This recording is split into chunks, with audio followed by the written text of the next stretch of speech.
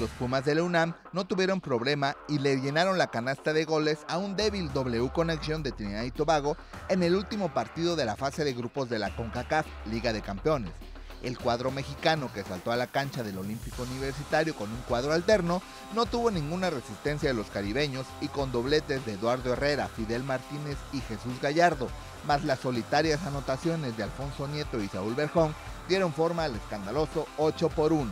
Pero no todo fue felicidad para los Pumas, pues al minuto 18 el defensa central Geraldo Alcoba tuvo que salir del campo por una lesión prendiéndose los focos rojos de los universitarios, pues Alcoba apenas viene regresando de una lesión que lo mantuvo alejado de las canchas durante nueve jornadas del torneo de liga.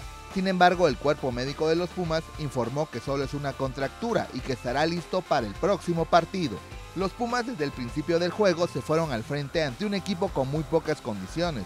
Los goles comenzaron a caer al minuto 17 de Berjón. Lalo Herrera anotó al 30 y al 40, Gallardo al 55 y 71. Nieto anotó un golazo al 79 y Alegría Martínez al 85 y al 89 cerró la goleada. Por los trinitarios anotó Briel Thomas en un descuido de la saga universitaria.